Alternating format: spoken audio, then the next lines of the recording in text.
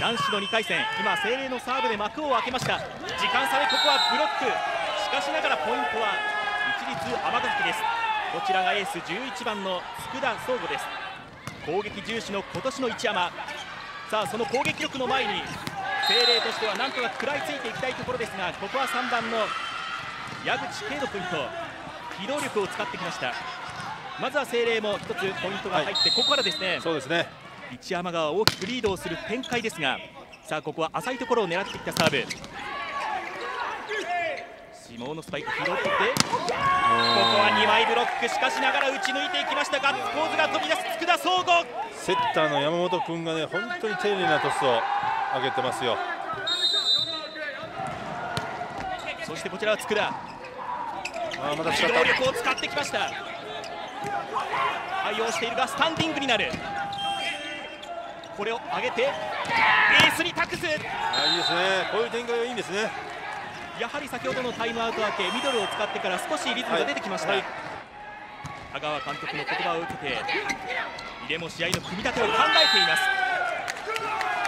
ただそこに待ったをかけるというこの6番立花のプレーもありました。いや高いですね。いや高いですよこの選手は。そしてセットポイントを迎えたのは一律尼崎去年の春高1回戦敗退の悔しさを糧にさあ力強いサーブ。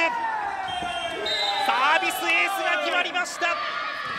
最後はエース7番の坂本雄大のサービスエースが決まって第1セット25対12大きくリード突き放して一律尼崎が第1セットを先取しています。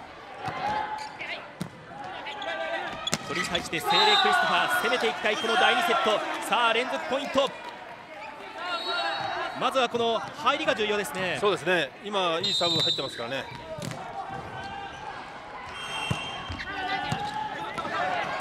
さあこの辺りがどうこうそうするか。ブロック。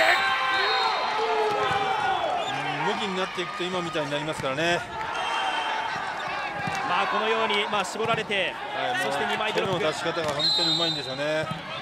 クイックで第1セットは流れをつかもうという精霊の姿も見えましたさあここで崩してチャンスボールが、ま、巡ってきた。どうするか。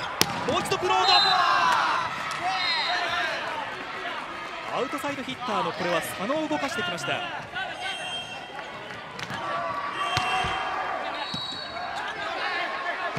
ハイセットボールになりました。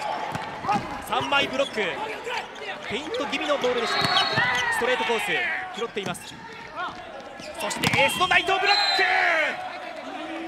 今のもね最後にこう調節してるんで右手で右手で止めてるはずなんですよね今も。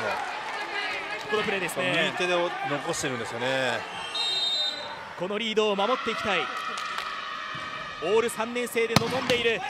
さあネットイン。いいサーブですね。さあその差1点。伸びていきます。ここはステップを踏んでかしレシーブ拾っています。そして佃クロススパイク。ダイレクト。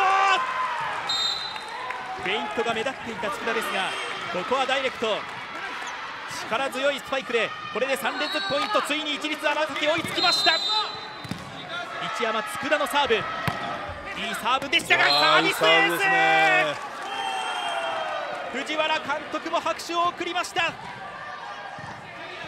エースのサービスエースでさあマッチポイント一律尼崎。去年の春高は悔しい1回戦敗退。その悔しさをバネにして1年間鍛え上げてきました。セッターに帰ります。内藤が打つ。これが一律尼崎ポイントに入りました。最後はエース内藤。これがアウトになりました。